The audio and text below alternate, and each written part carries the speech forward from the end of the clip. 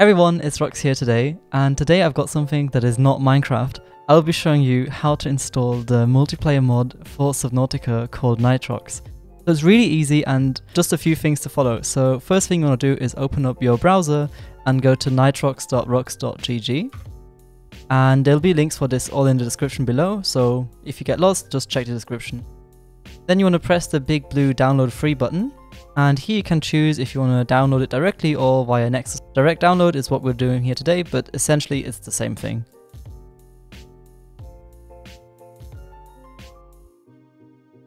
Right, once that is done, we'll get this lovely zip file. Um, in my case, I'm just going to drag it to the desktop, which is the easiest. And then we can already close out of Chrome. Basically, what you want to do then is do a right click and depending on which program you've got installed, so in my case I've got WinRAR and 7-zip, you just want to go to either of those. If you have none of them, just extract files. And I'll choose extract 2 and it'll just create a folder here on my desktop. There we have it. Really, really easy. And you want to double click this folder. And inside this folder there's a few files.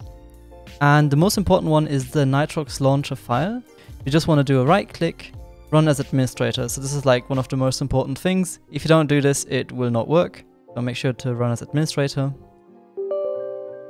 So right now I get a lovely dialogue. And essentially you just want to press on yes.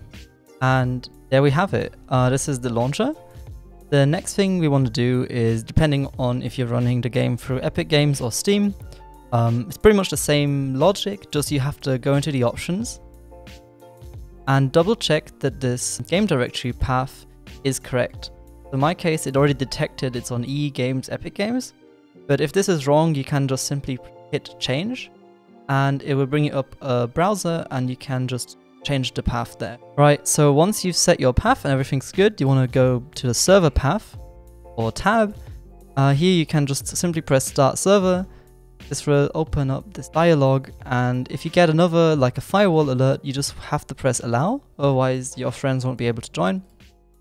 Allow this and once you've started your server you can go to play a game and hit this big blue play button. And if everything has worked you'll be greeted by the launch screen of Subnautica and you'll have this brand new multiplayer tab down here at the bottom. So we can just hit this right now and press connect to local. We'll be asked to enter a username and choose a nice color. And then you just want to press on join. Alright, so once the game has started, this is basically your multiplayer server. You can check that everything's been working by looking in the console. You see there's some stuff going on that players joined. So that's essentially it. If you need any help or have questions, there's a link to the Discord server at the bottom and you can ask any question there. And there's also a really helpful guide page on the website, so if you're stuck, just make sure to check that first. There's usually lots of um, yeah, help that you can get there before asking questions. So yeah, if you did like this, then feel free to leave a like and a comment. And don't forget to smash that like button. See you in the next video.